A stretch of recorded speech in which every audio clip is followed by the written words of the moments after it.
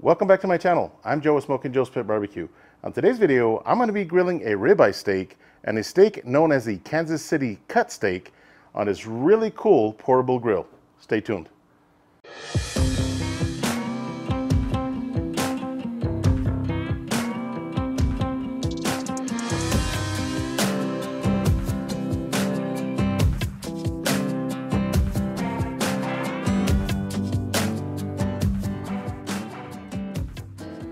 All right, so here's this really cool portable grill. It does come inside this canvas bag and it is from Lifedoo. So I'm gonna assemble this so you guys can see how simple it is to assemble. So if I had to guess on the weight, it probably weighs 10 to 15 pounds. So let me move this bag out of the way here. All right, so here's the top grill. Great. Here are the side panels. Here's the charcoal grate. And you do have this tray to catch your ashes, okay? So I'm gonna move this side panel out of the way. All right, so here's one of the side panels, and I found it easiest to lay one of these side panels on its side right on top of that ashtray.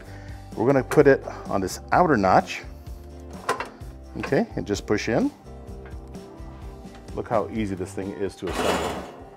I'm gonna grab the other side and do the same thing. Okay. All right, so here's our other outer panel. Just put it on the top notch right here, just like that. And at the same time, you do the other side. Again, it's pretty simple to get done. Uh, there we go. Right there. Okay, so at this point, just lift the grill. All right, so for the next step, you're gonna grab your little charcoal grate. It's got a few holes here on the bottom. Just guide it in there and it sits right inside the holes. Really sturdy, okay? Then you have these three rods to hold your top grate. So I'm just putting one on the outside, one in the middle, and one on the outer side. Right, so here's our top grate. Just goes right on the top just like that. Okay, so this grill is fully assembled. You can tell it only took a couple of minutes. So I'm gonna remove the top grate. I'm gonna grab my charcoal.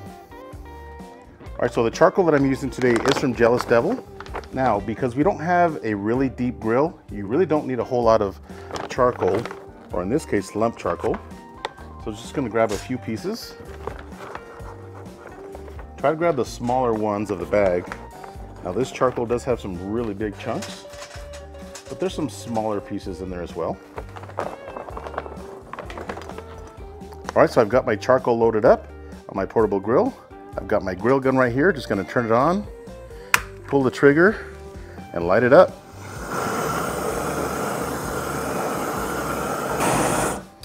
All right, so we're gonna give the coals about 15 to 20 minutes just to ash over. Gonna go ahead and put our grate on the top, just like that, and move this aside. I'm gonna go grab the steaks, and I'll bring you guys right back. All right, so here are the two steaks that I'm gonna be cooking today. These came from E3 Meat Company. I gotta tell you, if you guys haven't checked them out, please do. They're big supporters of our military, and they got such an amazing story on how the company got started. So this is a ribeye steak, and this steak is about an inch thick.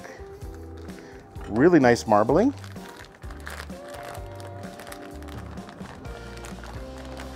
Look at that. Really nice looking ribeye. And here's our Kansas City strip steak. Now you guys may have heard this called a New York strip steak. Same thing, but because E3 Meat Company is up in Kansas, they're calling this the KC strip steak. And it's really good flavor, really nice and beefy flavor as well. So I'm just gonna take this out of the package. All right, so let's season these steaks. The ribeye I'm gonna season with this Uncle Steve shake. This is his smoke bomb. It's got such an amazing flavor and a really nice red color, which you guys will see. Look at that. Okay, it's gonna give this steak a really good flavor. So this rub I think will be good on just about anything beef. And I can't wait to try it on a brisket. It's got such an amazing flavor as I mentioned. Grab the edges, just like that. All right, so for the strip steak, I'm using this prime time seasoning from PS Seasoning. This has an amazing flavor as well. Really good beefy flavor and also a buttery flavor on the seasoning, okay? Make sure you season your edges as well. Look at this. Season that fat cap as well. Oh yes. Pick up all that extra rub.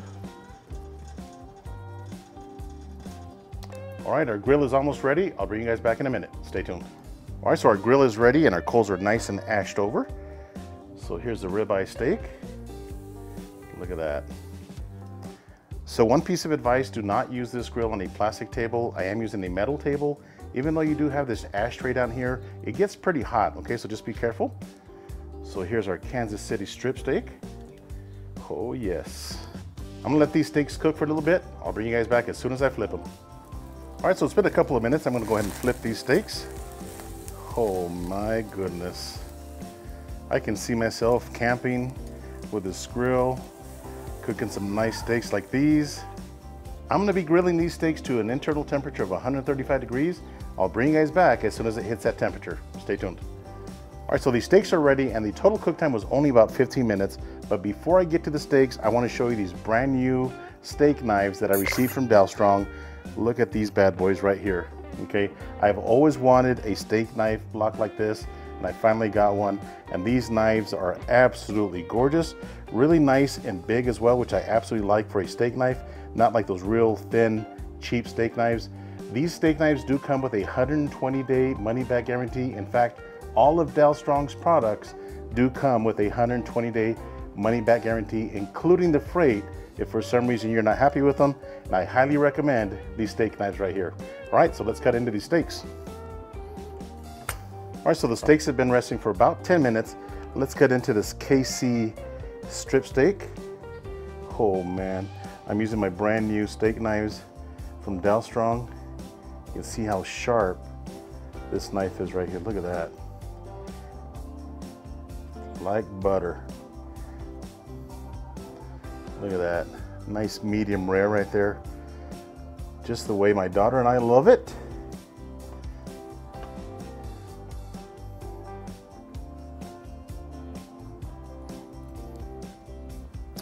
All right, so that steak looks absolutely delicious. Now let's cut into our ribeye.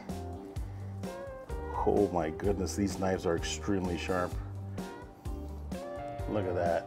Nice medium rare as well, really nice and juicy. Get out of here, fly. Before I slice you in half.